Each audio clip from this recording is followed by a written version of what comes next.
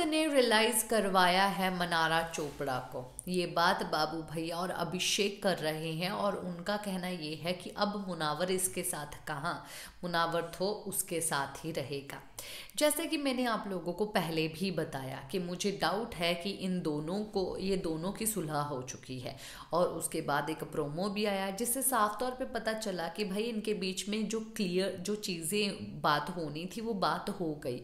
और मुनावर ने अपनी सारी बातें जो है, सब चीज़ों का जवाब दिया है। मुनावर अपनी तरफ़ से बिल्कुल क्लियर है। मुनावर की तरफ़ से कोई भी ऐसी चीज़ नहीं हुई, पर आयशा जो है, वो बस ले रही है कि भाई मुझे धोखा दिया है।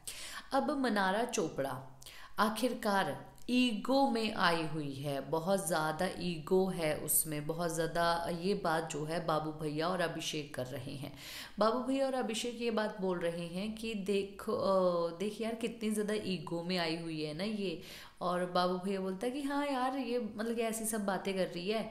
और मैंने तो इसको बोल दिया। कि मैं तेरे से ज़्यादा बात नहीं कर सकता, पाँच छः मिनट तक कर सकता हूँ, उससे ज़्यादा बात नहीं कर सकता। ये बात जो है बाबू भैया ने बोली है। कुछ दिन पहले ये बात बोल रहा था खानजादी के जाने के बाद कि मेरा यहाँ पर अब कोई नहीं है। वो बंदी आके बैठ के तेरे को टाइम दे रही थी। अब तू है मनारा के बारे में ऐसी सब बातें कर रहा अभिषेक के साथ। तो तेरा क्या स्टैंड दिखाई देता है बाबू भैया? अभी रही बात अभिषेक की। तो अभिषेक भी अलग ही बज रहा है। अभिषेक का कहना ये है कि अब जो है, ये तो अकेली पड़ गई ना। ना इधर की, ना उधर की। अब मुनावर थोड़ी ना इसके साथ रहेगा, मुनावर तो उसके साथ रहेगा।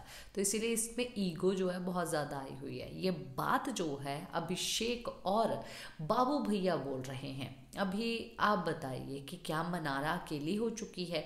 अगर ऐसा हुआ तो मनारा अकेली नहीं, मनारा के साथ बहुत सारे लोग बाहर के खड़े हो जाएँगे, जनता बहुत ज़्यादा खड़ी हो जाएगी मनारा के साथ।